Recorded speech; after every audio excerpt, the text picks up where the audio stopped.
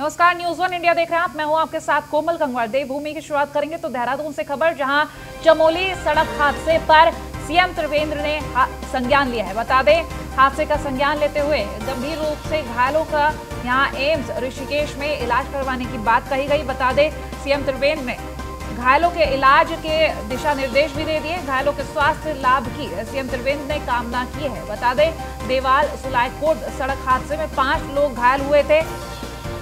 100 metre गहरी खाई में जा गिरी थी कार। कार सवार पाँच लोग घायल हुए थे। दो की हालत गंभीर बताई जा रही है। गंभीर रूप से घायलों को एयरलिफ्ट से एम्स लाया गया है। वहीं आपको बता दें, संबंधित चिकित्सा अधिकारियों को सीएम त्रिवेंद्र ने निर्देश दिए हैं। तो सीएम त्रिवेंद्र सिंह रावत ने खुद संज्ञान लिया है इस हादसे का। हादसे में पाँच लोग घायल थे और दो की हालत बेहद गंभीर बताई जा रही है।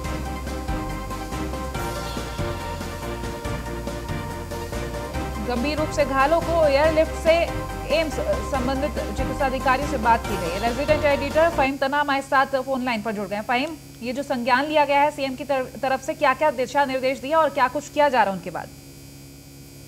देखिए इस दुर्घटना को लेकर के एक तरफ़ जहाँ सीएम ने दुख व्यक्त किया था वहीं के इलाज के लिए तुरंत सरकारी हेलीकॉप्टर मुहैया कराया गया और इनको इलाज के लिए समुचित इलाज के लिए व्यवस्था कराई गई और सीएम ने इसको काफ़ी जो गंभीर जो घायल हुए हैं उनकी कार्रवाई करते हुए एम्स भेजा है उनको। एम्स ऋषिकेश में एडमिट कराया गया है और ताकि सही से इलाज हो सके इसलिए चिकित्सकों को भी दिशा निर्देश दिए हैं। तो ये एक महत्वपूर्ण बात है कि दुर्घटना हुई तो दुर्घटना तो अब एक दुर्भाग्यवश हो सकती है लेकिन उस दुर्घटना के बाद इलाज की क्या व्यवस्था है और उस पर किस तरह से गंभीरता से कदम उठाया जाए ये ये महत्वपूर्ण होता तो एक बड़ी मिसाल है एक बड़ा उदाहरण मुख्यमंत्री त्रिवेंद्र सिंह रावत ने संवेदनशीलता का प्रस्तुत किया है। हम्म। एक उदाहरण देखने को मिला है कि सरकारी हेलीकॉप्टर सीएम ने भेज करके तुरंत उनको घायलों को भर्ती कराया गया। तो जो बताया जा रहा है उनकी तबियत ठीक है स्वास्थ्य में सुधार है जो घायल अस्पताल भेजे गए हैं जो एम्स में हम्म। भेजे गए हैं। जी। ठीक है चलिए बहुत शुक्रिया तमाम जानकारी हम तक पहुँचाने के लिए। तो गंभीर रूप से घायलों को एयरलिफ्ट करके एम्स में भर्ती कराया जिस तरीके से तस्वीरें सामने आई सीएम ने खुद संज्ञान लिया मामले का। देहरादून से खबर, जहाँ बढ़ती महँगाई को लेकर कांग्रेस का प्रदर्शन सामने आया। है पेट्रोल, डीजल की बढ़ती कीमतों को लेकर हल्ला बोल लगातार बढ़ रहे हैं। बता दें, दामों को लेकर पदयात्रा निकाली गई है। पदयात्रा में कांग्रेस प्रदेश अध्यक्ष प्रीतम सिंह शामिल रहे। वहीं पदयात्रा में कांग्रेस ने बीजेपी सरकार के खिलाफ नारेबाजी की है। पेट्रोल डीजल के बढ़ते दामों से जनता बेहाल है, कांग्रेस का कहना। तो जिस तरीके से पेट्रोल डीजल के दाम बढ़ रहे हैं, उसको लेकर कांग्रेस का ये प्रदर्शन पदयात्रा निकाली गई थी और बीजेपी पर हमलावर दिखी है कांग्रेस।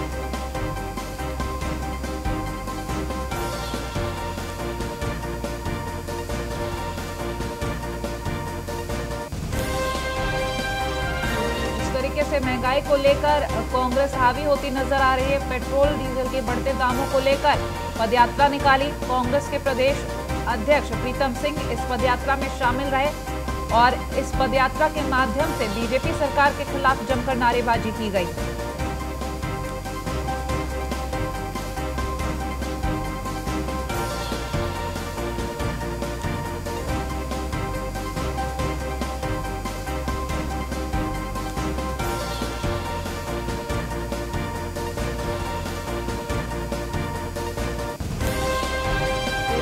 यात्रा जो निकाली गई वो तस्वीरें आपको इस वक्त दिखा रहे हैं, हम स्क्रीन पर।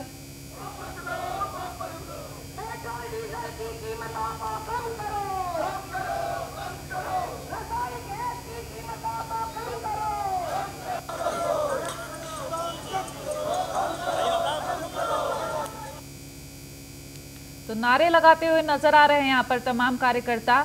कहते हुए नज़र आ रहे हैं कि पेट्रोल, डीजल की कीमत कम करो। तो इन नारों के साथ ये पदयात्रा निकाली गई है।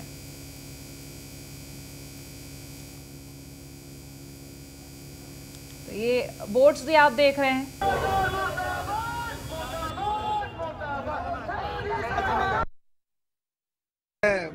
मोदी जी से कहना चाहता हूँ, जब लगभग 130 डॉलर जो है पर बैरल कच्चा तेल था उस समय भी कांग्रेस की सरकार ने पेट्रोल और डीजल के और गैस के दाम नियंत्रित रखने का काम किया।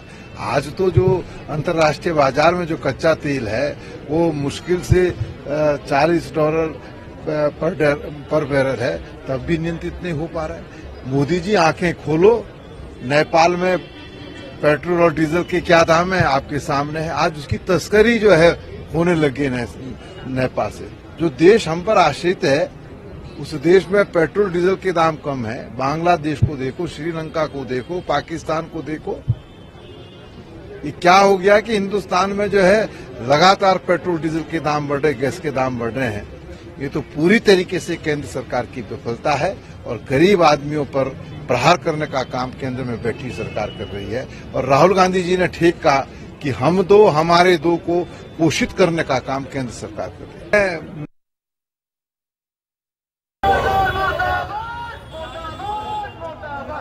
अध्यक्ष प्रीतम सिंह मौजूद रहे, जिन्होंने कहा कि बीजेपी की तरफ़ से जिस तरीके से महँगाई बढ़ाई जा रही है, उसको लेकर ये पदयात्रा निकाली गई है। उस पदयात्रा में साफ़ कहा गया, पेट्रोल, डीजल के दामों को कम करो, बढ़ते हुए दामों को लेकर यह हल्ला बोल था।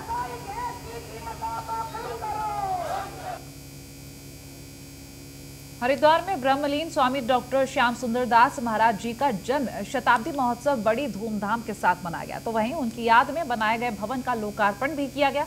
नवनिर्मित भवन का नाम भी श्याम सुंदर दास भवन रखा गया। भवन के लोकार्पण के मौके पर श्रद्धांजलि सभा का आयोजन भी किया गया, जिसमें कैबिनेट मंत्री मदन कौशिक, पतंजलि योग पीठ के महामंत्री आचार्य बालकृष्ण सहित बड़ी संख्या में साधु संतों और उनके अनुयायियों ने उनके चित्र पर पुष्प अर्पित कर अपनी श्रद्धांजलि अर्पित की।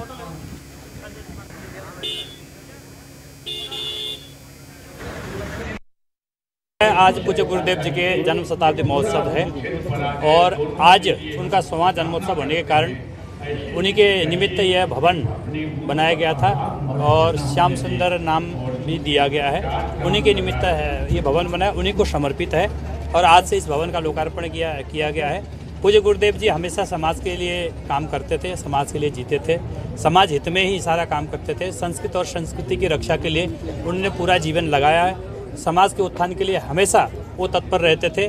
चाहे छोटा कार्यक्रम हो, चाहे बड़ा कार्यक्रम हो, हर एक कार्यक्रम में पहुँच करके अपना योगदान देते थे।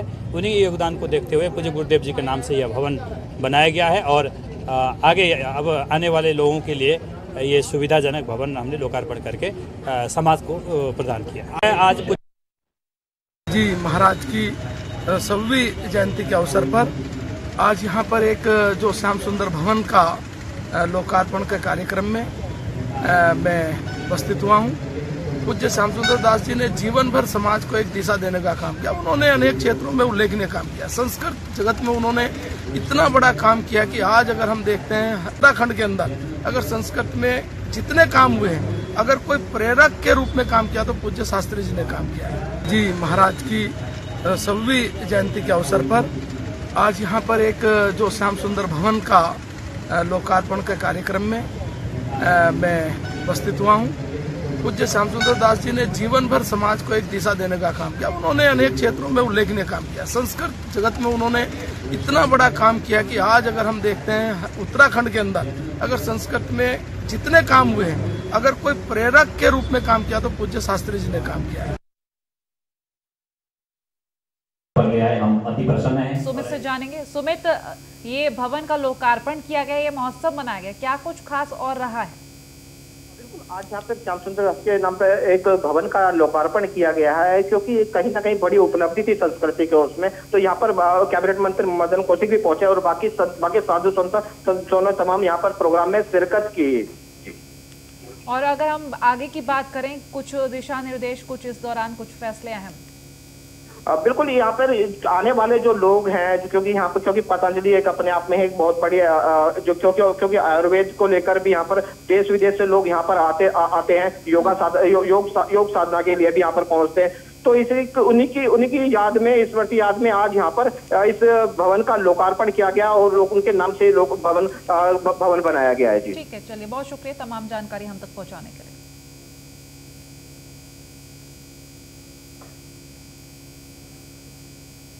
एक दिन पूर्व पतंजलि योग पीठ ने दिल्ली में आयुष मंत्रालय के सामने कोरोना की नई दवा को लॉन्च किया है। बता दें, कोरोनिल और भारत सरकार की कोवैक्सीन के विषय में बात करते हुए पतंजलि योग पीठ के महामंत्री आचार्य बालकृष्ण ने कहा कि कोविड से बचाव के लिए वैक्सीनेशन ज़रूरी है, लेकिन उसके साथ कोरोना से बचाव को दवाई भी ज़रूरी है, जिसका काम कोरोनिल कर रही है। उन्होंने कहा कि भारत सरकार द्वारा लगाई जा रही कोवैक्सीन, कोविड 19 के लिए जो वैक्सीन लगाई जा रही है, उसके बचाव के लिए ज़रूरी है, लेकिन साथ ही कोविड 19 के इलाज के लिए दवाई भी ज़रूरी है जिसका काम पतंजलि योगपीठ की कोरोनिल बखूबी निभा रही है। इस अवसर पर उन्होंने कहा कि पतंजलि योगपीठ द्वारा बनाई गई कोरोनिल के कारण ही लाखों परिवारों की जीवन की रक्षा हुई है। कोरोनिल को लेकर लोगों में जो शंकाएँ थी वो अब दूर हो चुकी है। कोरोनिल अब और भी अच्छी तरह से लोगों का जीवन बचाएगी। पर इन भाइयों का आग्रह था जो नहीं आता तो हमको लगता कि में है तो आप सबको संतों के चरणों में मैं ये पूरी तरह से देखिए जो वैक्सीन है, वो प्रिवेंशन है। प्रिवेंशन का भी अभी कितने लंबे समय तक के लिए बचाव होगा, ये अभी भविष्य के गर्त में है। तो वैक्सीनेशन की आवश्यकता अपनी जगह पर है, पर वैक्सीनेशन के साथ में ट्रीटमेंट भी बहुत ज़रूरी है। कोरोनिल वह प्रिवेंशन भी है ट्रीटमेंट भी है और आयुर्वेद से जुड़ी हुई चीज़ और आयुर्वेद को पूरी दुनिया में पहुँचाने के लिए, स्थापित करने के लिए एक बड़ा मेल का पत्थर भी ये करेगा। लोगों के जीवन को बचाने में भी अभी तक कोरोनिल ने लाखों लाखों परिवारों के जीवनों की रक्षा की है और आगे भी और भी जो लोगों के जो शंका के बादल थे, उनको हमने पूरी तरह से निर्मूल कर दिया है और भी अच्छी तरह से कोरोनिल लोगों की सेवा के लिए, लोगों तक खबरों में आगे बढ़ेंगे। तो देहरादून में सीएम त्रिवेंद्र ने सीमांत जनपद जमोली की रहने वाली विश्वेश्वरी देवी का आभार व्यक्त किया है। बताते जिन्होंने उनके आगे महिलाओं को संपत्ति में अधिकार देने की बात रखी, उन्होंने सोशल मीडिया पर पोस्ट करते हुए कहा कि वर्ष 2008 में जब मैं प्रदेश का कृषि मंत्री था तो सीमांत जनपद चमोली में मेरी मुलाकात श्रीमती विश्वेश्वरी देवी से हुई थी। उन्होंने बड़े तार्किक ढंग से ये बात रखी थी कि पति की संपत्ति में महिलाओं को बराबरी का अधिकार होना चाहिए। मेरे जहन में हमेशा ये बात रही, आज जब मैं प्रदेश का मुख्यमंत्री हूँ तो मुझे बेहद खुशी है कि हमारी सरकार ने विश्वेश्वरी देवी जी की मन की इच्छा को पूरा किया और प्रदेश की लाखों महिलाओं को उनका अधिकार दिलाया। मातृशक्ति का आशीर्वाद सदैव बना रहे ताकि आगे भी हम इसी प्रकार के जनहित निर्णय लेते रहें। तो ये सोशल मीडिया पर जो पोस्ट आया वो दिखा रहे हैं आपको।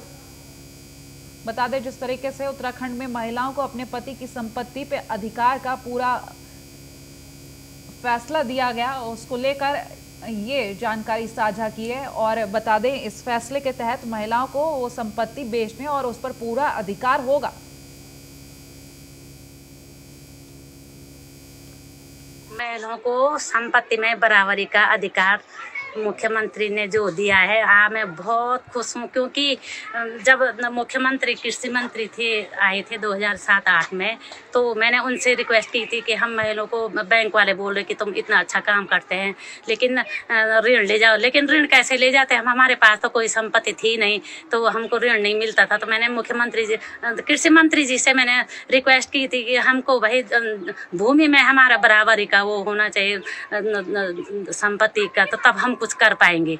लेकिन आज मैंने जब मुख्यमंत्री के भाषण सुने मोबाइल में तो मुझे बहुत खुशी हुई कि जो मैं चाहती थी, जो मेरे दिल में था पीड़ा बहनों के लिए, वो आज पूरा हुआ। मैं इसके लिए बहुत बहुत धन्यवाद देना चाहती हूँ मुख्यमंत्री जी को। और अपने जो पूरी महलों को मैंने ये बात बोली तो मुझे बहुत अच्छा लगा। आज मुख्यमंत्री जी ने पूरा लोगों के सामने बोला कि भाई, ये बात बराबरी का दर्जा मिलेगा महिला पुरुष को। बहुत बहुत धन्यवाद बहुत बहुत धन्यवाद मुख्यमंत्री जी को। हाथ धो के प्रणाम तो महिलाओं को जो ये फैसला उनको लेकर सुनाया गया, उसको लेकर महिलाएँ काफ़ी ज़्यादा उत्साहित और खुश नज़र आ रही हैं। हरिद्वार में होने वाले महाकुंभ का धार्मिक दृष्टि से आगाज़ हो चुका है। अखाड़ों में लगने वाली धर्म ध्वजा अखाड़ों में पहुँच चुकी है। जिसके बाद अखाड़ों में कुंभ से संबंधित सभी मंगल कार्य शुरू हो जाते हैं। निरंजनी अखाड़े के साथ साथ आनंद और अटल अखाड़े की धर्म ध्वजा भी अखाड़े में पहुँच चुकी है। निरंजनी अखाड़े की धर्म ध्वजा आगामी 27 फरवरी को स्थापित किया जाएगा, जिसके साथ आह्वान अखाड़े की भी धर्म ध्वजा उसी दिन फहराई जाएगी, जिसके बाद अखाड़े में कुंभ को लेकर होने वाले मांगलिक कार्य प्रारंभ हो जाएँगे। धर्मध्वजा के संबंध में निरंजनी अखाड़े के सचिव महंत रविंद्रपुरी ने बताया कि अखाड़े की धर्मध्वजा की लकड़ी अखाड़ों में पहुँच चुकी है।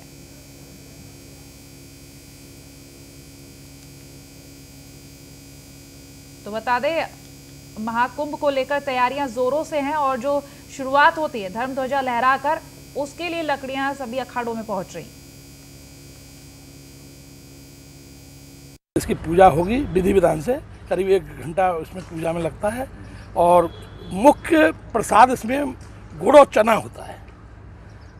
और सभी अखाड़े द्वारे, सभी प्रशासन वगैरह सबको निमंत्रण दिया जाता है, सभी लोग आएँगे एक बैंड बाजा जो है धर्मध्वजा की लकड़ी आ गई है और ये करीबन जो लकड़ी हमारी करीबन सौ फुट होनी थी चाहिए। परंतु यह लकड़ी इस समय हमारे पास अस्सी फुट है, क्योंकि इसमें जो बावन हाथ हमारे होते हैं, बावन हाथ।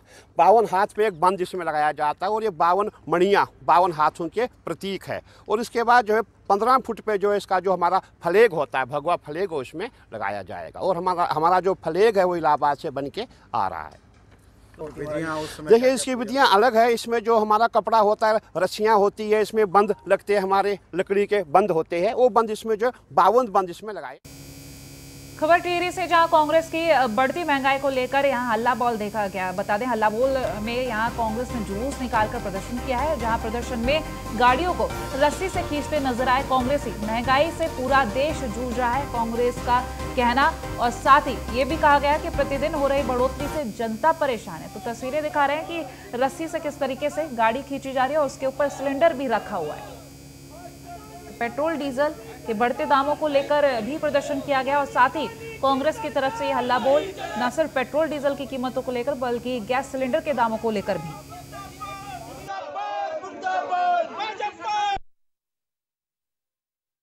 तीन काले कानून जो केंद्र सरकार ने बनाए और देश का लगभग सवा ग्यारह सौ करोड़ जो, सवा ग्यारह करोड़ जो किसान है, वो इस काले कानून का विरोध कर रहे हैं। और जिस किसान के हित में ये कानून बनाया गया, वो साफ़ मना कर रहा कि ये हमारे हित में नहीं है। तो भाई ये ज़बरदस्ती, ये दादागिरी किस बात की? पहली तो ये बात। दूसरा, आज आप देख लीजिए, महँगाई चरम पर है।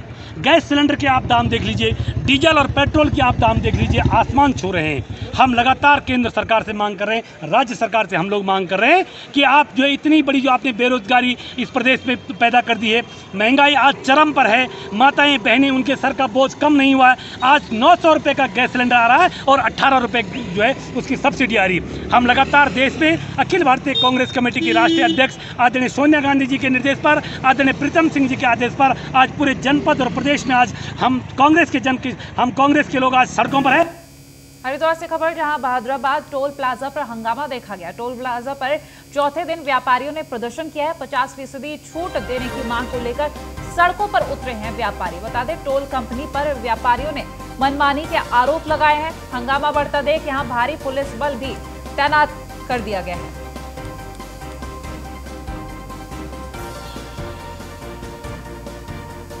तो हरिद्वार से ये खबर। जहाँ भाद्राबाद टोल प्लाजा पर हंगामा हुआ है, टोल प्लाजा पर चौथे दिन व्यापारियों ने प्रदर्शन किया। तो 50 फ़ीसदी छूट देने की मांग को लेकर सड़क पर उतर चुके हैं सभी व्यापारी। टोल कंपनी पर व्यापारियों ने मनमानी करने का आरोप भी लगाया। तो वहीं हंगामा जैसे जैसे बढ़ रहा वैसे वैसे पुलिस बल भी यहाँ भारी संख्या में देखा गया।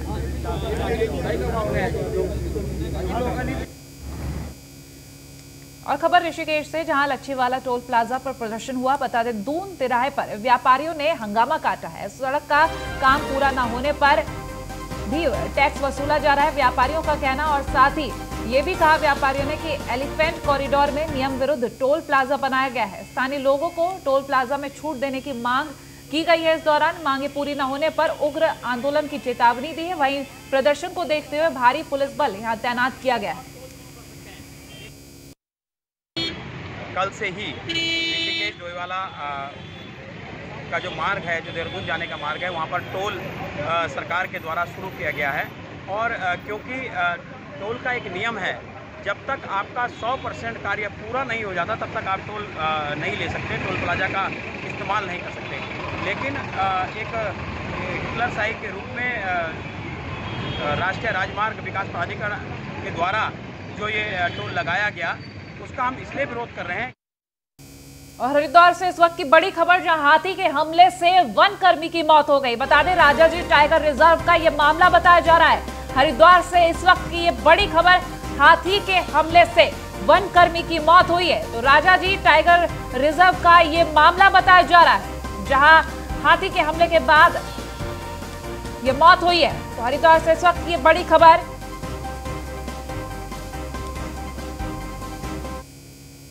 फ़िलहाल देवभूमि में इतना ही। बाकी खबरों के लिए देखते रहे न्यूज़ वन इंडिया। नमस्कार।